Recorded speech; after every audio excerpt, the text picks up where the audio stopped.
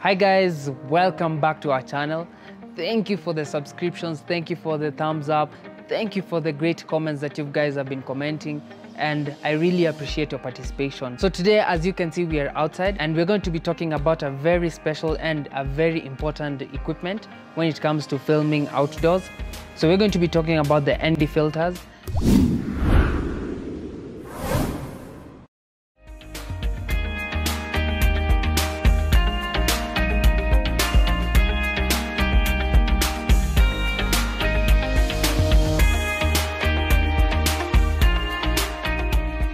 On camera right now, we have the variable ND filter. Well, the ND means neutral density filter. The Hoya variable neutral density filter provides a convenient way to maintain exposure control by being able to vary the amount of light entering the camera by 1.5 to 9 stops. The built-in ring design allows us to rotate the outer ring, controlling the amount of neutral density effect anywhere within the 1.5 to 9 stop range. Well, on top of reducing the amount of light that enters the camera, the variable ND filter allows us to achieve nice bokeh shots when we're shooting outdoors. So this can be achieved by having a wider aperture and using the ND filter to regulate the amount of light that comes in. So hence having a nice bokeh shot.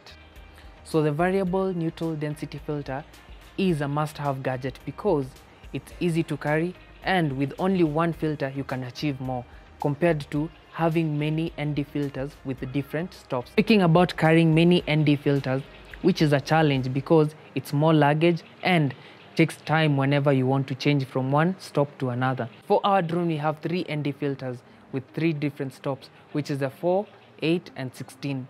So that was it for today, guys. Hope you learned something great about the ND filters. As you've seen, it can really become helpful when you're doing outdoor shoots. When the sun is too hot and is too bright out there, you can use it to regulate the amount of light. So I will be leaving a link to where you can get them down in the description below. And uh, please do not forget to subscribe if you're not subscribed. Give us a thumbs up if you feel like it's good. And please leave us a comment. If you have any questions, just ask us. I've been your boy Titus. Till next time, adios.